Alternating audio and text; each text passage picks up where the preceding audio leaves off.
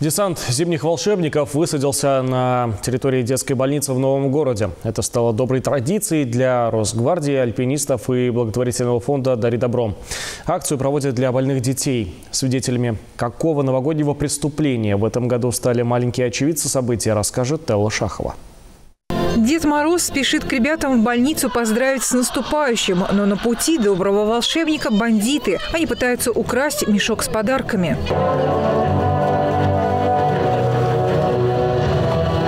Росгвардии своя версия праздничной сказки. Злу противостоят богатыри современные. Они не допустили, чтобы дети остались без подарков. Росгвардейцы обезвреживают хулиганов, а затем демонстрируют восторженной детворе в окнах палат приема рукопашного боя. Но это только начало новогодней эпопеи, которая ждет пациентов в детской больнице святого апостола Андрея Первозванного. Вот, вот он идет. Ой, сейчас он сейчас окно разобьет. Нет, он.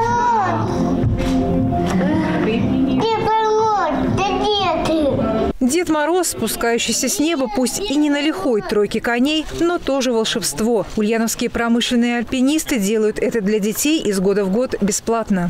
Сердце как будто сжимается так. а, Смотришь на детей в окошке, и когда они больны, хотелось бы, чтобы они выздоровели скорее. Желание Деда Мороза, особенно в канун Нового года, закон, радость всем, а детям еще и польза.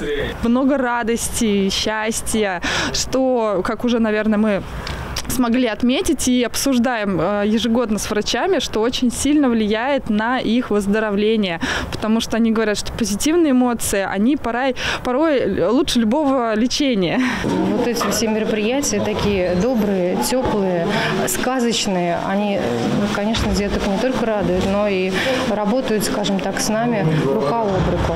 Кульминация новогодней сказки – раздача сладких подарков, как водится, за рассказанный стих. Снег ложится, снег ложится, снег, снег, снег.